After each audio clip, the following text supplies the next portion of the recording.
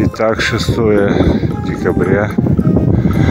Погода отличная, пасмурно, на улице минус 11.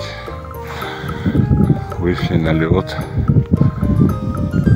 Продолжается зимняя рыбалка. Одну хапушку уже настроили. Все стоит. Ждем подхода крупной рыбы.